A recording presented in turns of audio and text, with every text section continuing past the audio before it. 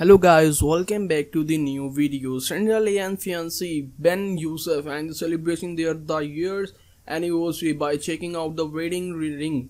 The lifestyle guru and the love of smoking with the sunshine and stunning Amalfi costumes today.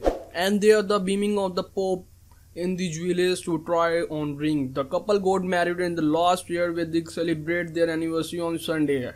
Friends they do not plan to wear and Youcef will already wearing a ring Wednesday ring as signed to committed.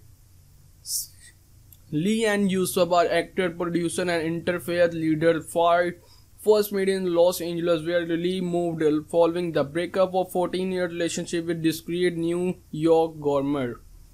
Governor Andrew Cuomo we reveal her that stroke of romance swam and much needed happiness back into the Lee after the Cuomo and believed to the cheating on her. The couple were the Italy to Lee birthday in July and were back to the summer. They turning Europe of summer and we recently seen in St. Tropez in the south of France. After this past year of health struggles in which that life is so short on celebrate every single chance I can get. Thank you for watching. Please like, subscribe and share this video.